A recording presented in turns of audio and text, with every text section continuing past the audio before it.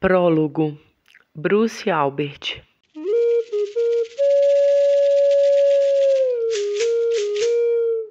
A presente coletânea é o produto de um ciclo de aventuras intelectuais e estéticas cruzadas, concebidas e vividas sob a égide da Fundação Cartier para a Arte Contemporânea, entre de um lado um grupo de xamãs e artistas do povo Yanomami e de outro um conjunto de artistas e cientistas não indígenas de diversos países. Esse ciclo Yanomami teve sua origem em conversas mantidas na Casa Coletiva Yanomami de Watoriki em dezembro de 2000, entre Hervé Chandès, diretor-geral da Fundação Cartier, e os autores desse livro, Bruce Albert, antropólogo, e o xamã Davi Copenaua, cercado pelos seus e por todo um areópago de líderes de comunidades aliadas.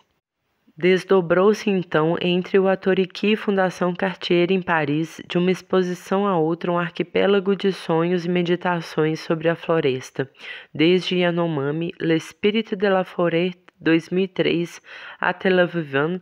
2022, passando por Terre Natale, Leur Commence Ici 2008.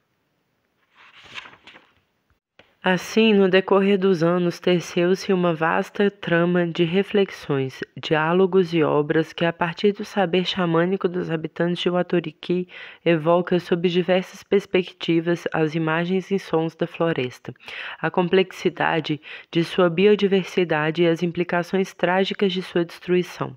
Os textos que se seguem pretendem apenas restituir uma versão da memória, da sensibilidade e da intensidade dessas trocas sobre o espírito da floresta. Os Yanomami, um dos povos indígenas mais emblemáticos da região amazônica, somam aproximadamente 54 mil pessoas que ocupam um território de cerca de 220 mil quilômetros quadrados de floresta tropical, situado de um lado e do outro da fronteira do Brasil com a Venezuela.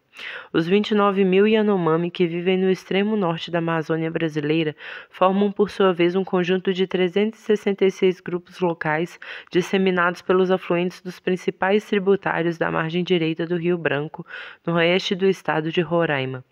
e da margem esquerda do Rio Negro, no norte Amazonas. Seu território de 96.650 km, um pouco mais vasto que Portugal, foi homologado por um decreto presidencial em 25 de maio de 1992, há 30 anos, abrigando uma grande diversidade de meios naturais, entre zonas de floresta tropical, densas de terras baixas, regiões de floresta tropical de montanha e savanas de altitude. Ele é considerado pela comunidade científica uma região prioritária em matéria de proteção da biodiversidade na Amazônia brasileira.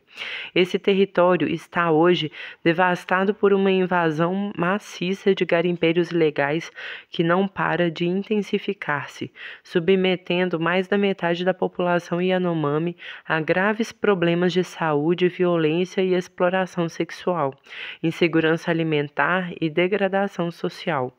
Em outubro de 2018, 1.236 hectares de floresta já tinham sido destruídos pelas atividades de garimpo. Em setembro de 2022, esse número quase quadruplicou, chegando a mais de 4.500 hectares.